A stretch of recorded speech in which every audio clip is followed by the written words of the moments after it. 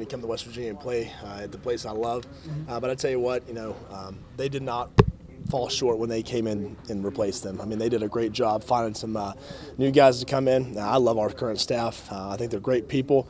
Yeah, I mean, they really care about you as a person. Uh, not only do they care about you, you know, you know, like what you're doing on the field, they care about your academics, and I think their their interest is completely, you know, genuine, uh, and they're always there for you. I mean, every Friday we try to have meetings. Um, just about whatever. You know, what's going on in your life? How are you doing? You know, what are you doing? You know, I mean, things like that. So, football take football completely out of it. They care about the person you are, and they care about developing young men.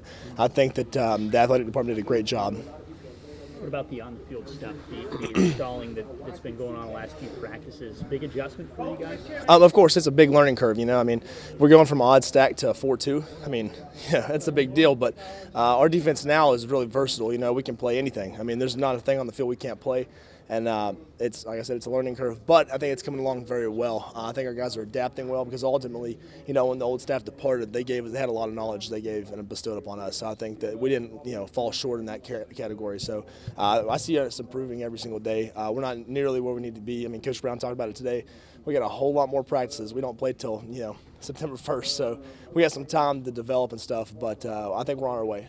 Can you elaborate on some of the differences that go into a new formation is it scrapping everything that you guys have learned and going back to the fundamentals?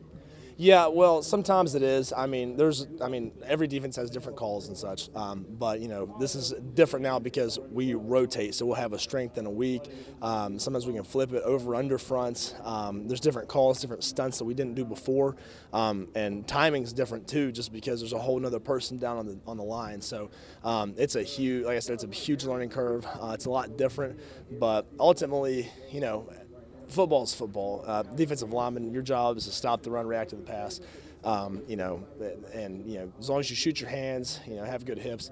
I mean, there's not a whole lot. It's, it's football. It's not rocket science. You know, so ultimately, it's not too complicated.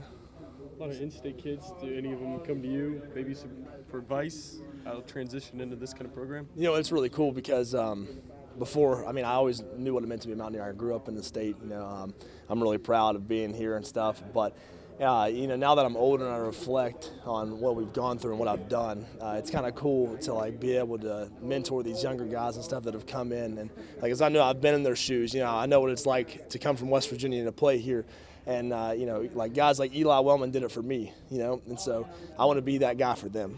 And I just I think it's really really cool to be in the position I am to help others, especially being in state. But I think that that's one thing that everybody who's in state shares. You know, it's it's an attribute that not a lot of people have. And then when you come here, you you attain that attribute regardless of where you're from. How was your time changed now since when you got here and you were talking to guys like Elijah? Man. Uh, it's a, it's a lot different, you know. I mean, we've gone through a different player, a lot of different players, a lot of different coaches. Um, but ultimately, you know, this is still West Virginia. You know, it's all blue and gold. So, um, you know, we got the same kind of people here. Uh, yeah, it's that mountaineer mentality, that you know, blue collar work ethic. I mean, ultimately, you know, this is West Virginia, and not a lot's changed. You know what I mean? Reese, any of the younger guys impressed you, jumped out to you here over the past couple days? Absolutely. There's a lot of guys that um, I thought weren't living up to their full potential uh, this winter. And I tell you what, guys like um, and these aren't guys that I'm saying aren't living up to their potential, but just guys in general like Dante Stills, um, Tyrese Allen, they're coming out of their shells like the way they need to be. Um, I think that Darius Stills is becoming more of a leader. It's his time to lead now. I think he's doing a lot better job at that. Um, you know, Taijh Alston, he's doing a lot better, and he's a new guy to the program. You know, I think he's finally jumping on board, and he's uh, on with what we're doing here. So I think we got a good thing going. Reese, you always worn that wristband? don't make excuses. Is that new? This is new. Uh, coaching staff provided this for us, so I think it's a good thing. Like I said, um, all the coaching staff came with that blue collar mentality, and this is something that we had addressed. You know, as soon as they came in. Uh, and one thing, you know, we've already talked about the new coaching staff. We already had media days about that. But one thing that stood out to me that I don't know how many people hit on was obviously we have to earn their trust just as much as you know they have to earn ours. So it's a two-way street here, and I think it's one thing they were really trying to, you know uh, bestow upon us is their mentality. It's a blue collar mentality, and I think this is you know zero tolerance for excuses. Just get it done, you know. And I think that's something that's going to you know, take us a long way. So um, no, it's not something I've always worn, but I think it's uh, it's a mindset that we have to go into with this season. I think the coaching staff is really forcing that issue, and I think it's a great thing. Everybody got one, or just like everybody, everybody, everybody. and so it's a good thing. Any difference in you know playing?